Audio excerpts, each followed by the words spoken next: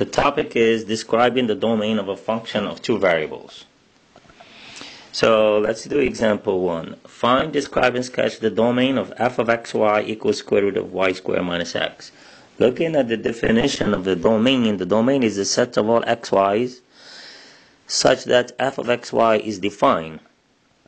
So in this case, the domain is the set of all xy such that square root of y squared minus x is defined means whatever is under the radical has to be bigger or equal than 0. So how do we describe this set?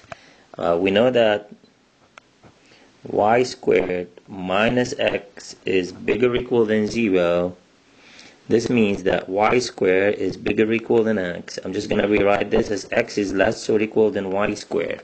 So what I'll do, I'm going to graph x equal y squared, which is this. So this is, this graph is x equal y squared.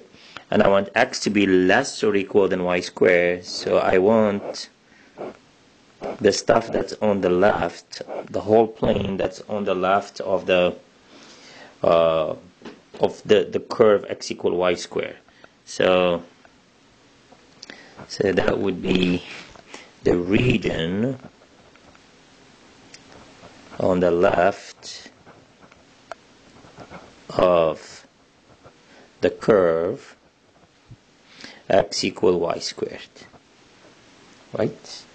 Alright, so let's do next example. Find, describe, and sketch the domain of g of xy equals square root of 5x minus 3y squared. I mean, the same way, the domain will be the set of all xy such that that radical exists or is a real number. For this radical to be a real number, you want whatever under the radical to be bigger or equal than 0. So that would be our domain. So how are we going to sketch the region? 5x minus 3y squared bigger or equal than 0 means 5x is bigger or equal than 3y squared divide by 5 x is bigger equal than 3 over 5 y squared so what do we do again we graph uh, x equal 3 over 5 y squared so the graph would look more like that so this is x equal 3 over 5 y squared. I want all the x's that are bigger, all the points such that the axis is bigger than that. So I want all the right sides. So the region will be, so the domain will be the region on the right of the curve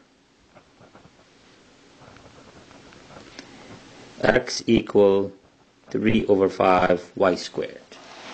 Alright, let's move on to the next example. Find, describe, and sketch the domain of h of xy equals square root of y minus 3x squared plus 1. Again, the, we have a radical, so we want the domain will be all the point xy's such that whatever under the radical has to be bigger or equal than 0 now, what do we mean with that? y minus 3x squared plus 1 is bigger or equal than 0 means y is bigger or equal. Move minus 3x squared to the other side. It becomes 3x squared. Subtract 1 minus 1. Now, graphing y equal 3x squared minus 1 look more like this is negative 1. This is the graph of y equal 3x squared minus 1 and I want all the points that's that y is bigger in other words I want whatever is above so the region will be the domain will be the region above the curve or the parabola y equal 3x squared minus 1.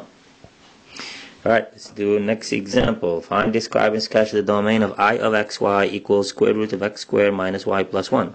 Same way, the domain will be all the points xy such that whatever is under the radical has to be bigger equal than 0, which means I mean 5x squared minus y plus 1 is bigger equal than 0 means minus y is bigger equal than subtract 5x squared from both sides you get minus subtract 1 get minus 1 divide both by negative 1 you get 5x squared plus 1 so we need to graph we need so the domain will be all the set of xy such that y is less or equal than 5x squared plus 1 so how do we graph the region?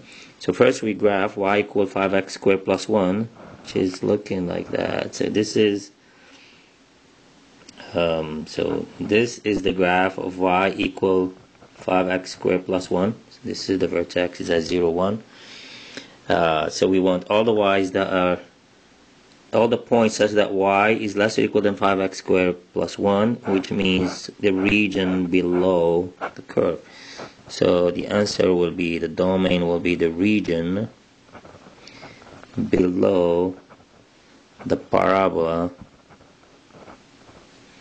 y equal 5x squared plus 1 and that's it for this example